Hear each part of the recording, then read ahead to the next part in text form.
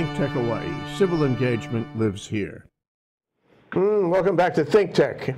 And this is uh, Energy 808, the cutting edge half moon solar. And we're talking about Molokai today. And of course, our regular guest, if not co host, is Marco Mangelsdorf of Provision Solar and Hilo. And our special guest today, who joins us by, by Zoom from Chicago, uh, is the CEO of Half Moon Ventures. Half Moon Ventures is doing a project in Molokai. We are so happy to have both of you guys on the show. Welcome to ThinkTech.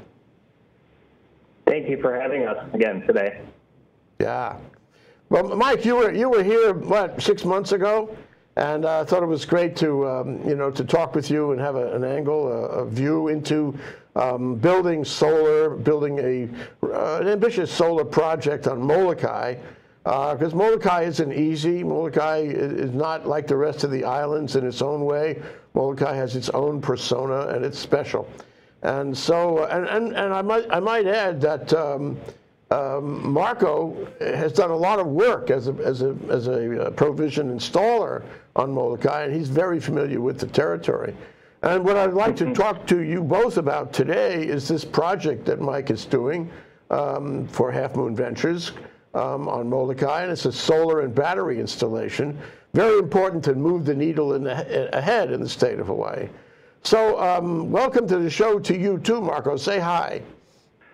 Hi, Jay. Hi, Mike. Uh, again, really pleased to be back on with both of you, and especially you, Mike, because as Jay was saying, Molokai is uh, is and has been for a very long time very near and dear to my heart. And uh, it's great to get an update from you, being uh, the principal there at Half Moon Ventures and the Molokai New Energy Partners, to learn uh, the good, great news and kind of where we go from here after the Hawaii Public Utilities Commission gave formal approval with some conditions uh, back on July 30th some couple, for yep. Uh, your, your company and for Maui Electric to go ahead and move forward. So it's uh, I'm very much look forward to what you have to share with us. So thank you so much for being on with us, Mike.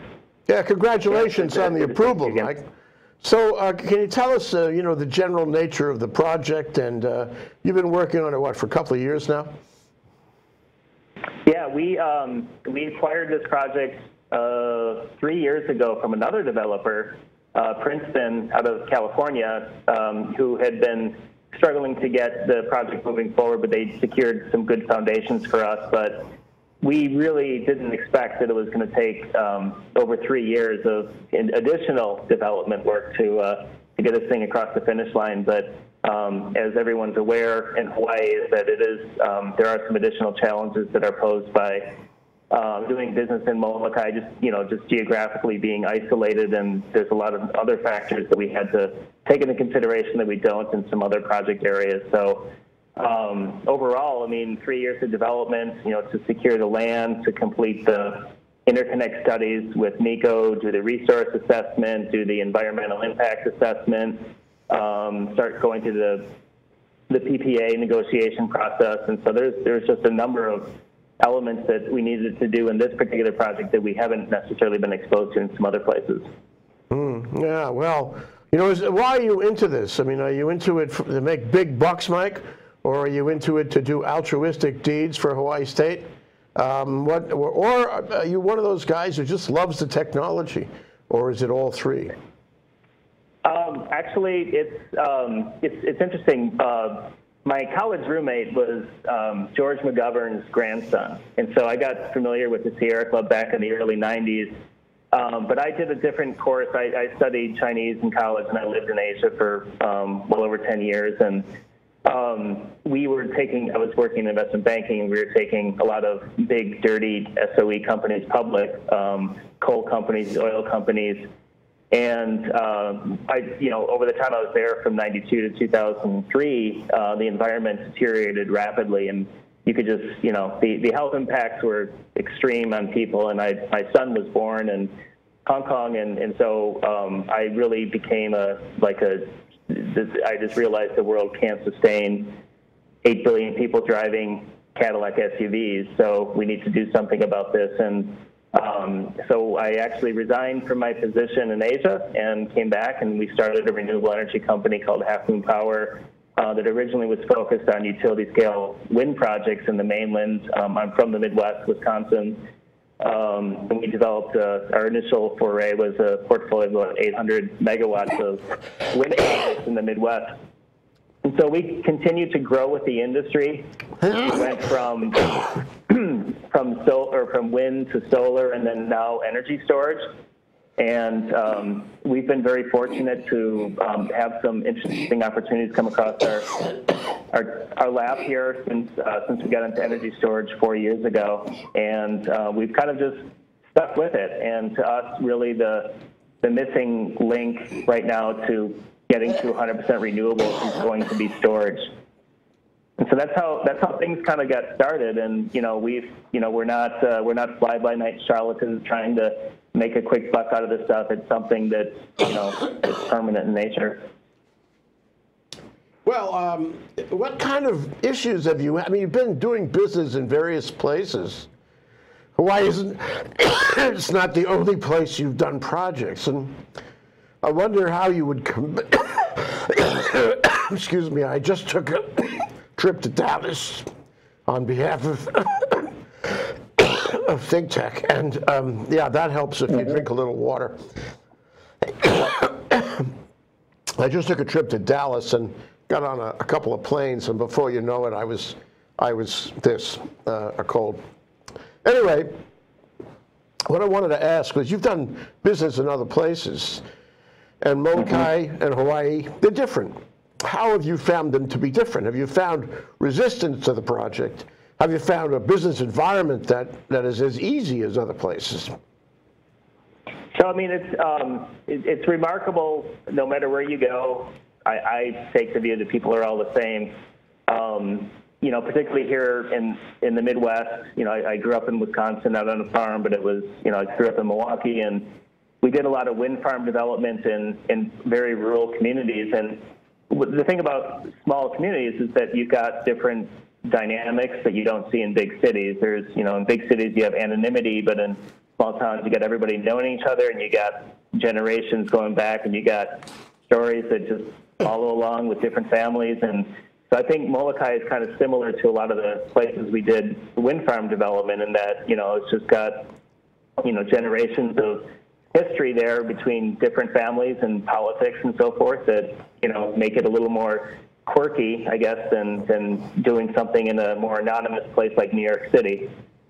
Um, but I, you know, honestly, um, I think our approach is a little bit different too. You know, we, we just take time to get to know people and expect that it's not going to happen overnight. So we, we try not to be impatient. Yeah, well, it sounds like China, you know, learning the community uh, by developing guanxi with individuals one at a time. And Yep. after a while, you, you know, you're accepted. So what have you done to try to gain acceptance in Molokai and how well has it worked? And if you could look back now, uh, would you change anything in, in your MO on that, on that score? I mean, I, I, I would always answer that by saying I wish we would have had been able to spend more time there. Um, I probably have made a dozen visits over the past three years, and I've literally met, you know, hundreds of people there, and not 100% support at all. There's definitely a few people who are concerned about this and us and anything else that's kind of new, I guess, for the community. Um, but we've tried our best to listen as much as possible in different formats, whether it's one-on-one or big community meetings. But we've done as much as we can physically do to, to kind of really hear what they want to hear, um, or sorry, hear what they have to say, and then you know we try to tailor the project so it kind of fits with their needs. But at the end of the day, these projects are all the same, whether they're in New York or Molokai. It's um, you know you're talking about solar and batteries, and there's different prices, different construction costs, but it's still fundamentally the same thing. Well, has, has there been uh, resistance from the community? Have people have raised objections in the course of your discussions, either publicly or privately? I mean, what do you, do you feel there's any pushback, or is it all, um, you know, at least Um, on the surface, a, an acceptance?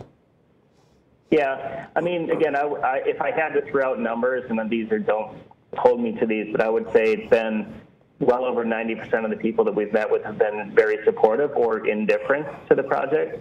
But there's been a few people that you know that are a little more close to the industry that um, have raised some objections about, you know, could we have done this cheaper? Could we have done this um, with more community benefits. There's there's all kinds of different things that you know they, they, they think that are worth discussing. And we've had these conversations and they're ongoing. It's not like we're we're done with the community. It's still going to continue to go on. So we're going to be there for the next 22 years. So there's going to be more opportunity for us to, to kind of win over some of these remaining people. It's ongoing, isn't it? It's not just a matter of getting their buy-in in the beginning. You have to keep on getting their buy-in going forward. You want to maintain the right relationship with not only the individuals who are close to you, but the larger community as well, no? Yeah, for sure. No, it's um, it, well, again, it's going to be for the tw- next 22 years, so I, I may not even be around when the thing is, is done. It might be my might be my kids. well, in 22 years, I feel certain that I'll get rid of this cold. Uh, anyway, um, so so now you got approval on July uh, 30, uh, as Marco mentioned, um, and the question is, what what does that entitle you to do, and why can't we just uh, you know put a spade in the ground and build this thing right now today? Well, there's still remaining work to be done. We have to do a complete environmental impact assessment. Uh, we have to do some more cost estimates. Uh, we're we're going out for bid right now to get to really fine tune the, the, the cost price right now, and that's going to take some additional work. But we expect to break ground here in the next maybe 90 days or so. Well, that's pretty good. Um, there's some additional there's there's still some additional cleanup work we need to do with the Public Utilities Commission and the Consumer Advocate. Um, but we, you know, there's some remain. We have to go and file our building and electrical permits with Maui County and so forth. So there, there is some additional work to be done, but it's uh, relatively low risk in nature. The the big thing for us was getting, you know, not just the PPA approved, um, but the PUC to approve the project as well. Oh, okay. So once once you get that approval that you had on on July July 30, was it? Um, then you need another Yeah. approval. You, you'd have to negotiate the, the purchase power agreement right now with them. I suppose you're working on that right now with Maui Electric, no? No, that's already been negotiated. That's done. Okay. The, the power purchase agreement is complete. That, that's been, um, actually, it's published on the PUC website. Okay, all right, okay. So Yep. um, where do you, where do you expect, well, you know, from where we are right now, plus 90 days to put a spade in the ground, um, plus the time of construction, completion, and turn on the switch, how far is it going to be?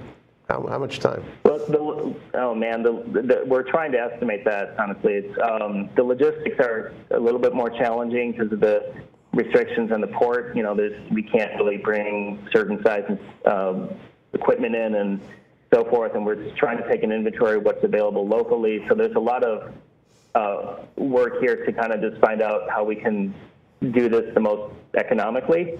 Um, but if everything goes well, and it never does, um, it, it, it could be done in as little as eight months. But Okay. it's probably going to be like next summer, third quarter next year before it's operational, would be my guess.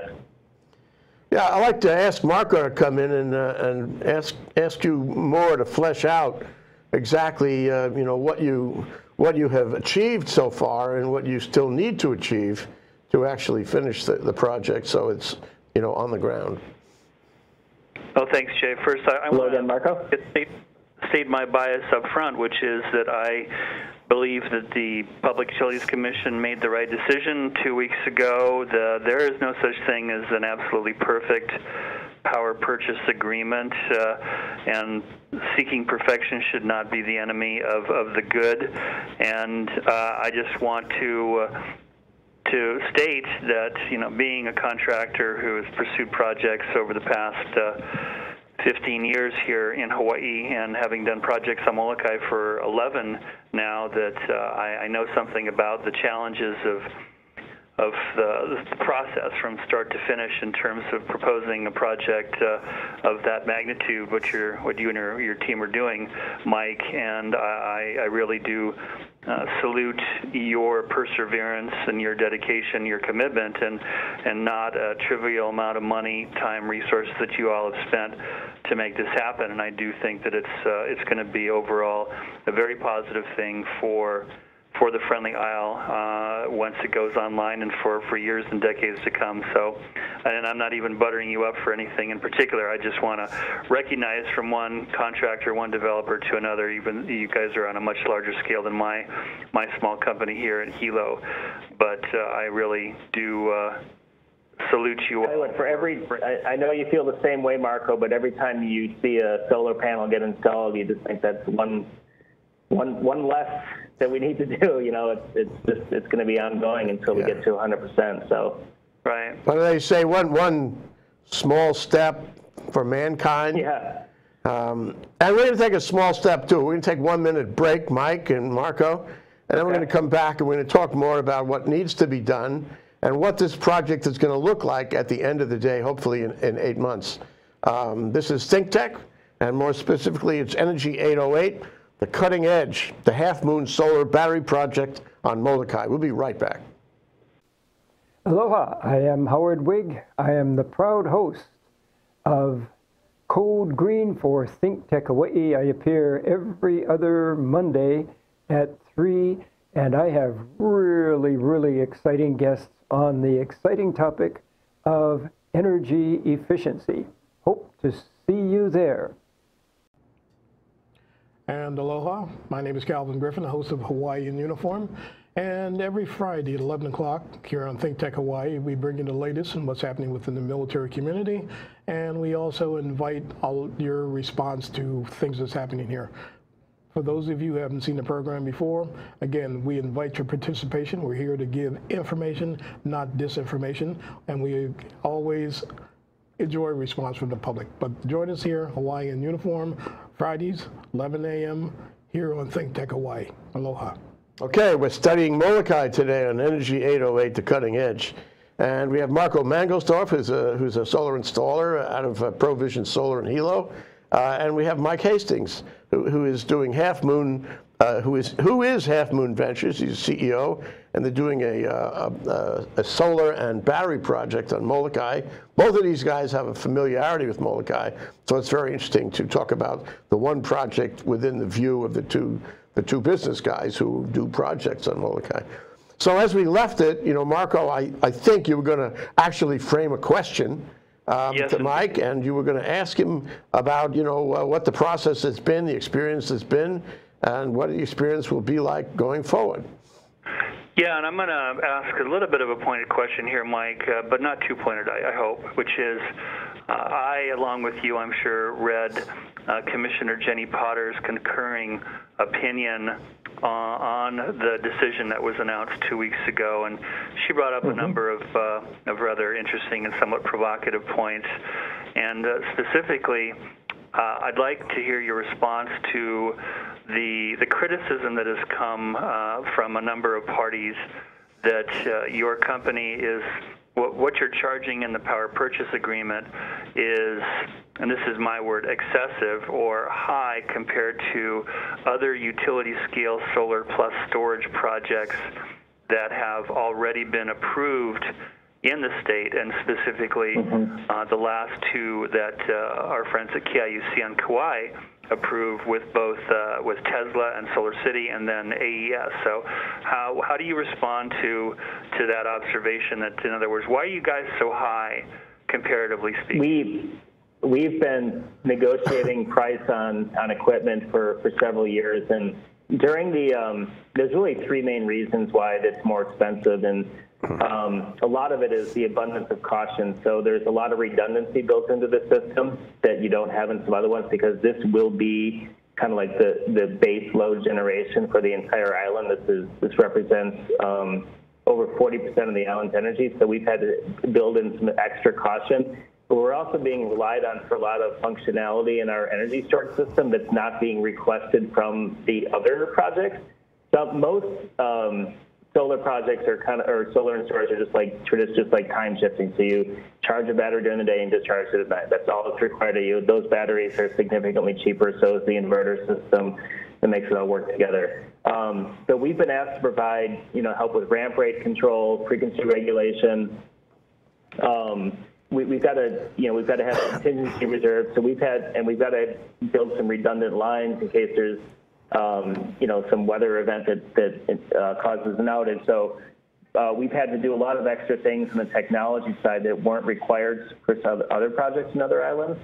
Uh, but the third part is that, you know, just given the, the logistical challenge of building and a smaller island is, you know, there, there is some additional cost there. You know, we have a lot more plane tickets, a lot more hotel rooms to bring in people and so forth that you don't have in some of the other islands. So uh, between those three things, that, has um, significantly increased the cost. But in general, this is a very competitive rate um, in, in my mind. So uh, just last year, we built two solar-only projects in Rhode Island, and that PPA rate was 20 cents, and we're, our blended average over 22 years is 17 cents. So um, even in the mainland, you're seeing rates that are significantly higher. And if you also consider that the average resident of Molokai pays close to 40, 50 cents uh, per kilowatt hour uh, year over year, that this does represent a savings to people. So, you know, if you look at some of the recently approved projects, I think even in the latest RFP,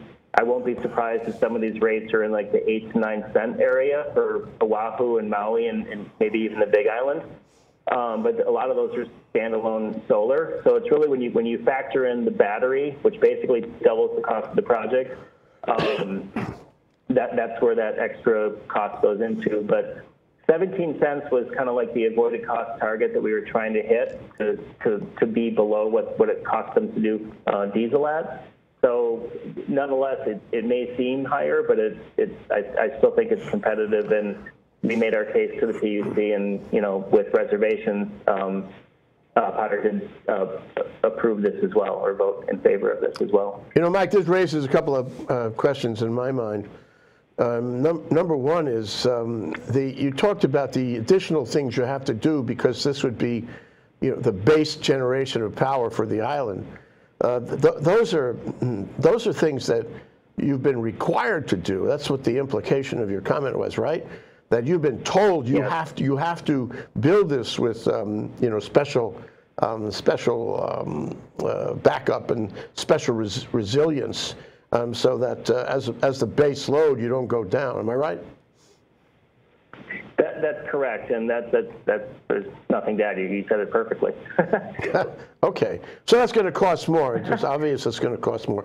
The other thing is you, you mentioned Yeah. 20, 22 years.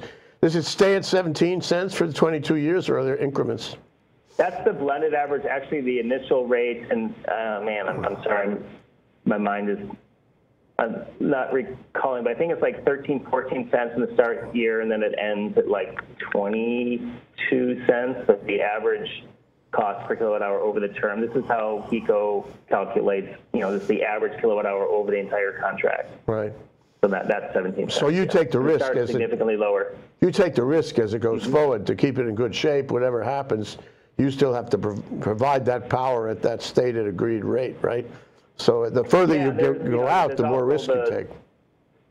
Yeah, there's also the degradation. So you're looking at a reduction of half of a percent per year in the solar output, just because the degradation of the cells. So over 20 years, you lose about 20% of your um, generation capacity. Uh, similar figures for, for the storage piece as well. Yeah. There's a lot of wear and tear over that term. Yeah. So is- is this um, new high-tech equipment you're using? I mean, you you alluded to uh, you know that possibility. Uh, is this going to be right at the cutting edge? Yeah, I mean, we've um, got a couple of these systems in the mainland. Um, we're, we're contracting with S&C Electric out of Chicago. Uh, they manufacture these inverters to provide that additional ancillary services that um, MECO needed to help with the uh, grid control.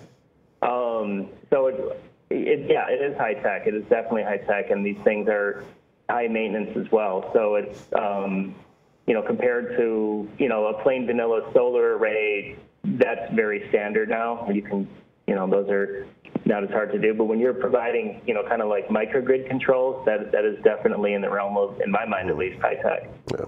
You know, we went over to uh, Molokai and made a little movie there on energy in general about six months ago, and we talked with Amelia Vanderhoff. And one of the issues that came up in that discussion was um, some sort of notion, she said, that some people had uh, where they wanted to be part of your project.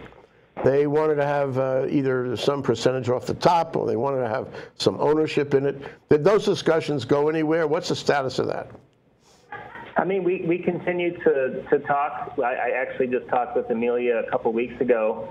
Um, and, you know, I, I consider us to be friends actually because we share the same vision of getting Molokai to 100% renewables. And, you know, we're, we're happy to continue um, talking with the community about different ways to participate in, in the project and, you know, whether it's financial or just, just having the benefits of better power quality.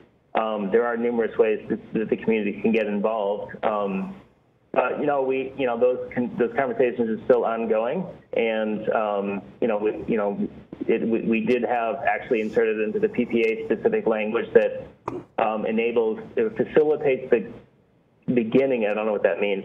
Facilitates the beginning of a conversation between the island of Molokai plus HECO to, to talk about potentially having community ownership of the project. Mm. Well, that so would we, be. We, we have yeah. That would be uh, a first, wouldn't it? That would be a first where the community owns a piece of the project, no? Well, the KIUC is, isn't it, too? That's Okay. Kind of, uh, okay. So, yeah. Touche. so, all right. Well, you know, I, I only want to ask about the other community leader that you and I mentioned before the show, and that's Walter Ritte, who is a no, no, noticeable, a notable community leader in Molokai for many, many years. And I wonder mm -hmm. what your mm-hmm. discussions with him have been like, and and uh, what kind of um, you know acceptance has he expressed of the project. I, I frankly was scared to meet him because I was I'd heard you know like you know that he could hurt me or something uh, physically or some other way. Um, so no, I'm kidding. He was a really nice guy, and uh, we had a we had dinner together um, at Molokai Burger and uh, with his wife, and we had a really nice conversation. And um, he uh, he actually was somewhat supportive. I was um, I didn't know what to expect honestly because I'd heard so many great stories about how important he is in Hawaiian history, and um, you know, he he he was. I, I really enjoyed our meeting, and I met him one on one other occasion after that as well. And he, uh, again, I think he's just renewable energy minded too, and you know, he wants to see all of Hawaii get to 100% renewables and stop importing oil. Yeah. Oh yeah, he said that for many years. And a shout out for Molokai Burger. I, have been there. That's where I spent some time on my movie trip. And I got to say, it's a great yeah. place. Molokai Burger, yay, Molokai Burger. It is an awesome place. So, Marco, you wanted to ask some questions about the, you know, the uh, what will we see in this project when it is completed, right? Yes. Uh, so, in the little time we have left, uh, I just wanted to talk a little bit about battery storage. I mean, uh, in the trenches here in Hawaii, as throughout much of the mainland, uh, if you happen to be a Tesla dealer, which we are, or the other major supplier of residential storage uh, is LG Chem, is that the reality is uh, that it's scarce. The product, there's product scarcity right now, and prices have actually gone up in the past six months. So, my question to you, Mike, is what what kind of battery storage will you be using, and how confident are you about both availability and pricing in the time frame uh, that we're talking about? So what's interesting is you're probably aware one of the big bottlenecks is not just manufacturing capacity, but it's also an over reliance on cobalt, which comes right. from uh, pretty shaky places like uh, the Congo. Um, so we've uh, actually been using LG um, for, for our project, uh, primarily because they're they're so committed to the space and they're they're very they're very they've got a very mature product and they have great um, logistics and they, they they can deliver in several months when you're talking about utility scale stuff. But right now this year there's been an abundance of installations going on in Korea in their home market. Um, but next year uh, supply is, looks very good, and so we've um, we've been circling back and forth with them about supplying the cells for this particular project. But you know, again, there's there's a lot of good manufacturers out there, whether it's Samsung or LG or um, Panasonic or Toshiba, Tesla. I mean, there's there's definitely an abundance of choices, um, and we we're confident that because of this number of choices, the price of storage will continue to drop. Uh, but it is taking some time for these guys to ramp up manufacturing, and I I wouldn't you know blame Tesla for their you know because all their production is going into the Model 3 to help meet their demand, and they've had to make a decision strategically that hey, we're going to supply cars, not not power walls. Um, whatever has just been their that's just been their choice. But um, no, we've been very happy with um, with LG. Their their both their um, pre-purchase and post-purchase uh, service has been fantastic. Okay, well, Well, let me, we're, we're about out of time, Marco. Uh, Why why don't you ask one more question? How critical is it for you, Mike, uh, for tax credit purposes, to get this project placed into service by the end of 2019? Well, that was another reason why we, we, we argued that it was important to get this thing uh, done in an accelerated timeframe, is so that, as you know, the ITC starts phasing out at the end of next year. Um, we were also fortunate to secure a new market tax credit allocation for this, and those are that's not something that comes out every year. So we got significant subsidies, which enabled us to drop our price to the point where MECO needed it. So it's really important that we that we have that we reach commercial operation by the end of 2019. Mm-hmm. Well, Mike, you're not only a businessman, you're an environmentalist, and you have broad horizons. And I wonder if you could take a minute here at the close to tell the people of Molokai and to tell the people of Hawaii why they should want to support this project. Um, again, it's, you know, Hawaii to me has always been ground zero um, for renewables just because it's so need based. You've got a fantastic resource. You have a bunch of small island grids that have historically uh, not been able to, you know, function as, as, as well as some other places. And um, so there, there's, it's just an, an extraordinary opportunity to, to, to demonstrate to the world and be an inspiration for the rest of the world to, to get to 100% renewables. And you know, it, it, it starts in Hawaii and it's going to work its way uh, uh, eastward from there. I mean, it's um, my I, I live in a state that's uh, frankly kind of retarded when it comes to renewable energy policy, and um, I just I admire I, I admire Hawaii a lot. Let's put it that way, um, because of the the vision to to promote a 100% renewable standard. Well, Marco and me, we admire you a lot, Mike, and we admire what you're doing, and and uh, we support you. And let me let me also add that um, you know this project is somehow iconic because it's the base load in Molokai, because Molokai has waited a long time to have a project like this, and it, it will be iconic. And we wish you all the best. Marco, do you agree with me? No, absolutely, and I hope that we can reconvene this uh, self uh, mutual admiration trio in six months, with you Mike, and, uh, and uh, get a, an update about all the tremendous prog- progress that hopefully will be made. Thank you, Mike Great, Hastings. thank you. thank you, Marco. We'll see you next time. to Talk with you again today. Take care. Thank you. Okay. Thanks for appearing. Aloha.